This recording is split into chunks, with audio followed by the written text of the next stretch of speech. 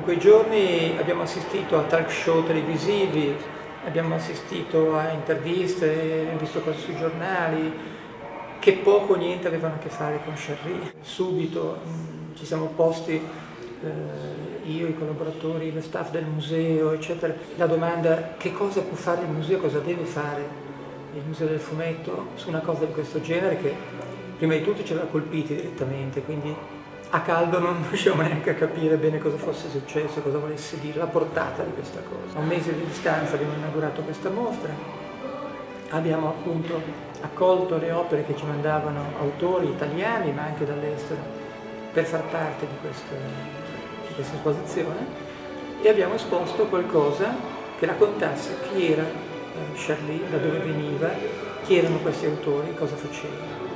Sono firme importanti anche del passato, anche di passato nel senso che sono autori anche eh, alcuni di una certa età, che però hanno voluto contribuire a questa cosa perché sentono moltissimo questi, questi problemi.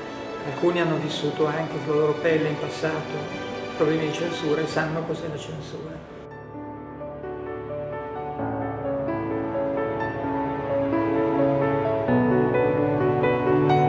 satira continuerà essere semplicemente la libertà totale, assoluta, di dire quello che si pensa e dirlo in un modo tale da far pensare. Satira è un pugno nello stomaco. Se non è un pugno nello stomaco non è satira. Può essere umorismo, può essere una battuta spiritosa. Non deve semplicemente esistere nessun tipo di censura. Questo tipo di comunicazione vale cento volte più di un buon libro, di un buon articolo, perché raggiunge molte più persone e le raggiunge in modo molto più efficace.